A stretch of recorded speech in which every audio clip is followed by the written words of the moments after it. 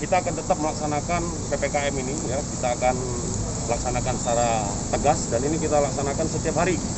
Ya sampai berlanjut masih sampai saat ini. Kita laksanakan baik itu di pagi hari baik itu di malam hari. Kita tidak henti-hentinya. Menghimbau kepada masyarakat ya supaya mentaati apa yang sudah diinstruksikan oleh pemerintah begitu juga sudah dilanjuti dengan surat edaran dari Ibu Bupati. Kita sudah menyiapkan ada 23.000 masker ya. Kita dibantu oleh BPBD dalam hal ini. Jadi akan kita uh, gelorakan sampai dengan tanggal 10 nanti yang kita laksanakan setiap hari. Yang sasaran kita adalah di tempat-tempat misalnya di pasar-pasar, kemudian di tempat-tempat pertokoan, di tempat-tempat keramaian. Ini kita laksanakan secara terus-menerus dan kami himbau kepada masyarakat ya. untuk tetap menggunakan masker.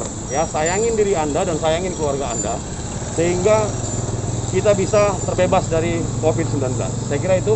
Ya, Pak Kapolres tadi ini merupakan operasi dari tindak lanjut evaluasi daripada pimpinan kita, pemerintah, pemerintah pusat maupun di tingkat daerah.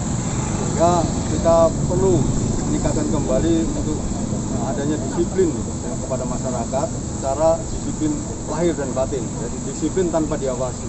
Sehingga ini yang perlu kita gelorakan kepada mereka, bukan disiplin kuli. Disiplin kuli begitu ada operasi justisi, dia pakai masker, dia jaga jarak. Begitu tidak ada operasi justisi, mereka buka masker dan tidak jaga jarak. Itu tidak kita harapkan. Ya. Tapi tentunya hal ini perlu kita uh, gelorakan, uh, kita uh, berikan motivasi kepada masyarakat agar tidak jemu untuk melawan pandemi COVID. Ya, terima kasih. Terima kasih sudah nonton. Jangan lupa like, subscribe, dan share ya.